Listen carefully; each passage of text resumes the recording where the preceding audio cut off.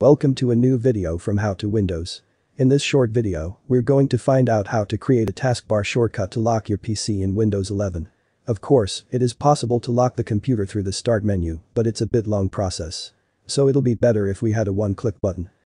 To do that open any folder and right-click there. Click New Shortcut. Then you must give this text as the location of the shortcut. You can find this text in the video description. Just copy paste it. And then click next. Give a name as you like. I name it lock PC. Then click finish. Now right click on our shortcut and go to properties. Click change icon and choose a suitable icon.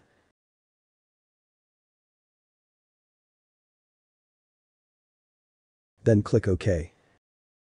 Now right click the shortcut again and go to show more options and click pin to taskbar. Now place it anywhere on the taskbar according to your preference. You can see it works well and is easier to use than the start menu. Don't forget to like the video and subscribe us. Comment your ideas below. Thank you for watching.